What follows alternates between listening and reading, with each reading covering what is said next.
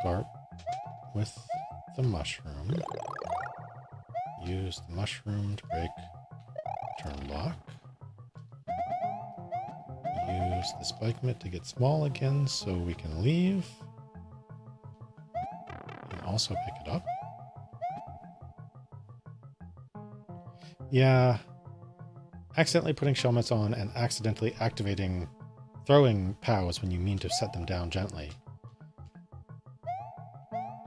Big bummers, both.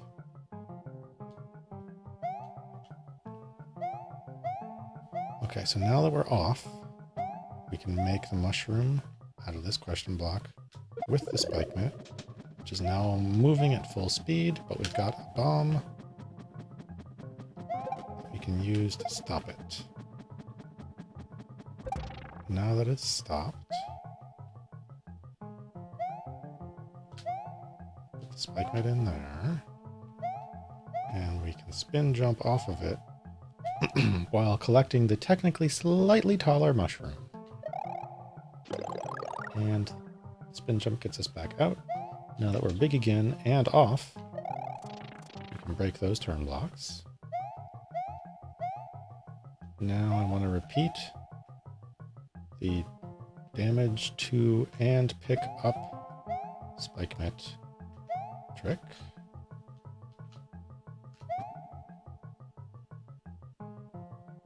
Bombs are taller than mushrooms. I technically we saw that in an earlier attempt, but I wasn't sure if the bomb was still bouncing, and that's what put its top edge above the mushroom. Okay, so now we're small, so we can leave with the spike mitt. We haven't set off the bomb yet. So my previous revision was incorrect. We need to set off the bomb, which sets off the POW. Oh, so we, yeah, we just pick up the spike mitt. Okay. The next step is the bomb. Uh, we set off the bomb here to free the P-switch from its ceiling with the spike mitt in our hands so it's not destroyed. And now we turn on to pick up the P-switch. And off to access the bits that we need to both with the spike mitt. Uh, just to be super safe, let's get the P-switch in the right spot. Now.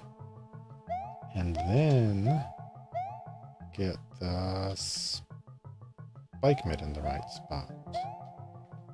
So we throw it to the right here. It gets caught on the lift, which will turn us on while we're down here.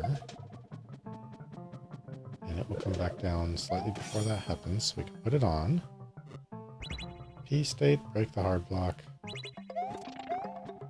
Ween! Thanks for your help, chat. There were a couple parts there that I didn't quite figure out and or remember. Still, pretty good puzzle. Hey, thanks for watching the video all the way to the end. In case you liked it, just know that every like, comment, and especially every subscribe really helps the channel out. Thanks again.